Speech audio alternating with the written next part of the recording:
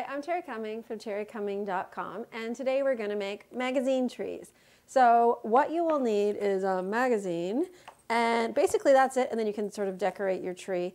I know it's uh, sometimes a Christmas thing and it's Christmas trees but it can really be just a winter decoration. I got a little obsessed over them um, throughout the holidays. I saw a post on YMC about these and I'd never heard of them.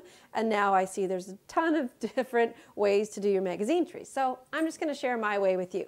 So you use your magazine, um, you get your magazine, and then you are going to break the spine just so that it's easier as you're going through making the tree. So I've kind of already gone through and done that. So you're just going to go through and then just break that so that it folds easily. Then you're going to remove the front and back cover of your magazine.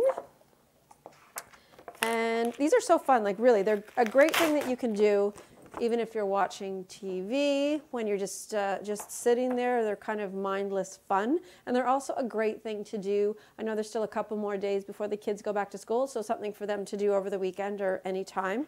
And it is great. I mean, I was really impressed with myself. I know it's an easy craft, but the end result, I, I loved it when I did it. So what you're going to do is you're just going to fold it over like that and make sure you make a good crease. Fold it over again. And then you're going to fold the bottom up. And then you have the first page of your tree complete. So then you're going to fold that down. And I use a bunch of different size magazines. That seems to work well if you're displaying a bunch of the trees together. So you fold it over once, again, and then up. So you get the, get the idea, and there's the first little bit of your tree. So then when you do that, you will end up with a tree that looks like these here. And this is the most basic. I just, this is what it looks like when it's done. And I do really love this anyway, because a little bit of color does come through and it is a recycled craft. So that's great. And it sort of has a natural feel to it. So that's just great on its own. Um, you can spray paint, put glitter, do a bunch of different things. Um, over here, the silver one, I've just spray painted it, poured some glitter, put some of my beads that I love so much, the stick-on beads in there throughout the pages, and then just used a Christmas decoration on top that is a star. As you can see, it's a decoration, it has a little hole, and then I just sat that on top. And then this next one here, which I'm gonna show you what I did basically, um, so this is just a little bit smaller magazine. And then I've used the garland that I did in my last video, the paper garland.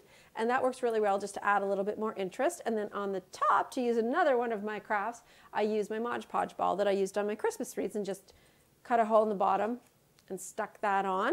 And then over here, for something a little bit different, I put some blue beads, stick-on beads, and then I spray painted a foam ball I used here the ping pong ball from my Christmas light craft and just stuck that on top and this one just with a star. So there's so many different things you can do, a ton of different ways, like go nuts, decorate it however you want.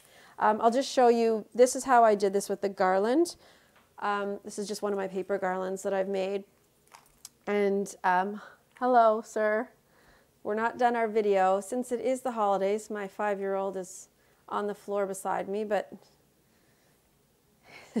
he's popping up, but we'll continue on. So um, with the, the way the magazine is, you can fit things in through the creases, so it's going to stay on a little bit better. I think you can kind of get the point of that. You can fold it over a few times, whatever you want to do. You can stick a ball on top or not. It just gives it a little bit um, of a different sort of look when you add the paper garland, which also works with the paper of the magazine. So that is Christmas tree magazine or magazine tree. I'm Terri Cumming. Thanks for watching and tune in next time.